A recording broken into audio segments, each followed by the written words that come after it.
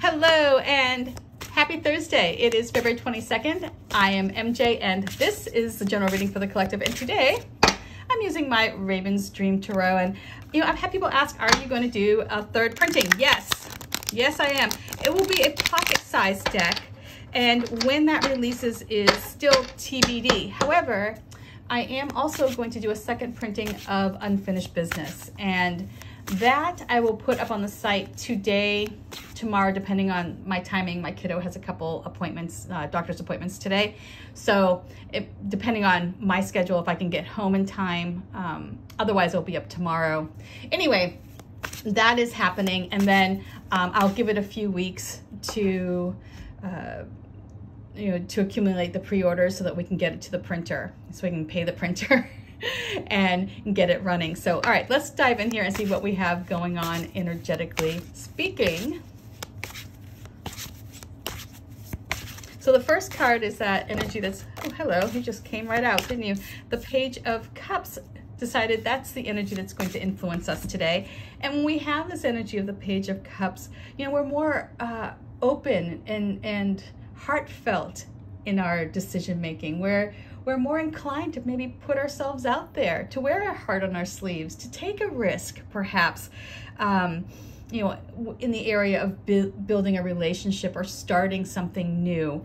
Having this Page of Cups energy influencing us today you know, we're going to be more social. We'll be more inclined to engage with people, maybe people who you don't normally uh, connect with. But today you might be extra chatty. You know, you might find yourself at line, you know, at lunch and, and striking up a conversation with someone who you've seen every day, but you just never thought to, to talk with. But today, because you have this influence of the Page of Cups, it starts this new relationship. So let's see what we have here for the upcoming situation. And you can see here this raven is, is um, you know, his wing is kind of covering the fox's back, letting it know that, you know, it's protected. So it can go out and explore, it can try new things, you know, but there is that reassurance that it will be, you know, uh, nurtured along the way.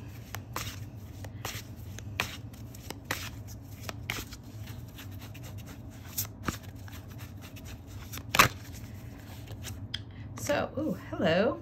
So in walks this opportunity to connect with something or a situation that's going to come up that will have you feeling more hopeful, more optimistic. Uh, maybe that conversation that you strike up with someone will inspire you or inspire your own ideas to try something new that moves you from a place maybe of feeling, you know, a little bit of you know stress into a place where you feel confident in your skills a place where you feel resilient and, and hopeful.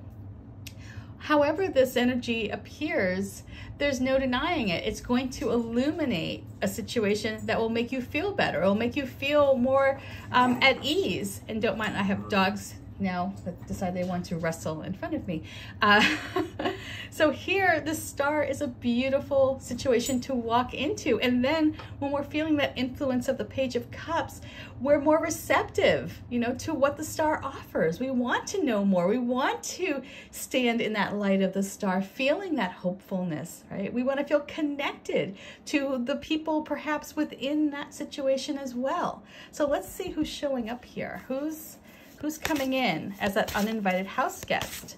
This is, you know, an energy that inserts itself into the situation and, you know, they contribute to the star energy. They bring something to it that is unique.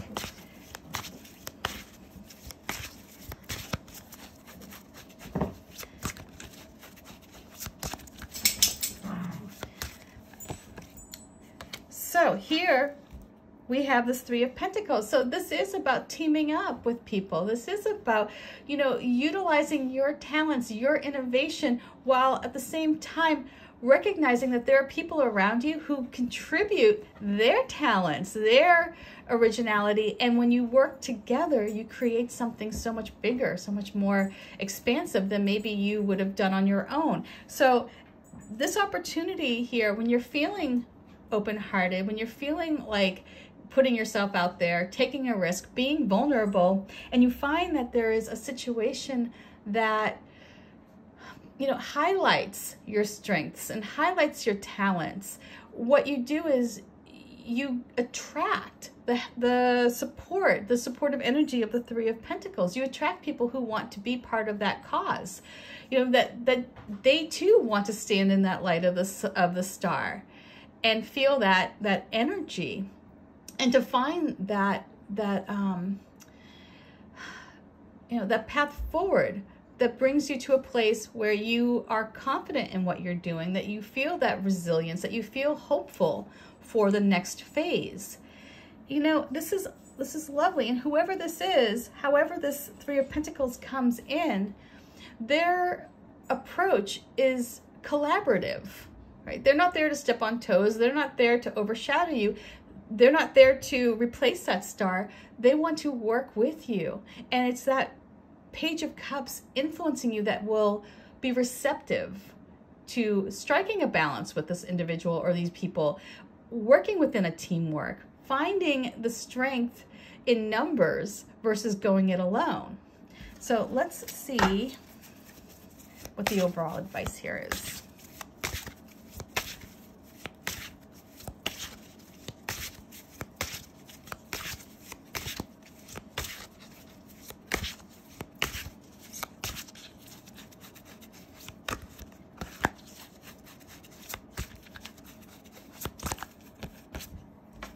Ooh, I love the Queen of Wands. Okay.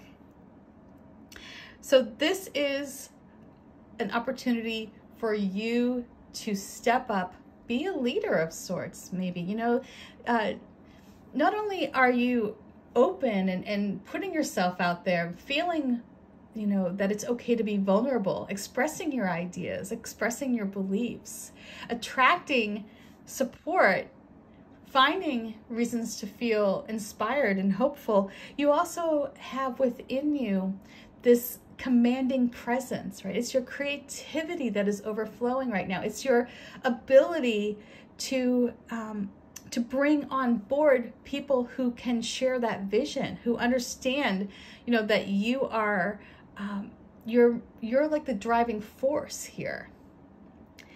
When you step into the shoes of the Queen of Wands, you're unstoppable, right? You're focused on creating a healthy environment for everyone to work in. You're focused on striking that balance where you're pushing, you have that drive for success, while at the same time you you understand that people have their needs and their desires and you're you know there's that wisdom that comes with the queen of knowing how to work within a group, of knowing how to push people, maybe, you know, to, to drive a project, to drive an idea forward while still keeping everybody on board, keeping everybody as excited and enthusiastic about the goal as you are.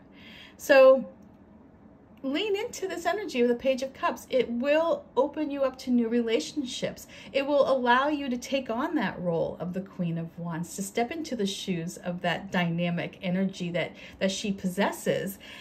And you have a situation that's on the horizon right now that's just beginning to move its way into the present that will have you feeling hopeful. It will have you seeing perhaps your situation from a different light. You'll see the opportunities perhaps where maybe you saw obstacles in the past. It's like all of the obstacles will be washed away in that light of the star. And in doing all of this, you open up that door to receiving the help and the insight. And yes you you are uh, a force of nature here especially with the queen of wands but there are other people around you who have a vision and who bring talents to this party that will benefit you all. So use them you know use those talents to and get the most out of the situation. Share in the success. Share the light of that star so that it's not just you who's rising up, right? A, a, rising tide floats all boats. And that's what you have this ability to be. You have this ability to be a leader that helps other people find success as well and help them live in, you know, their queen of wands, in the shoes of their queen of wands. And to, to be you know, able to express their individuality in the context of bringing a group together. So I hope that makes sense. Much love, peace, and I'll talk with you tomorrow. Bye.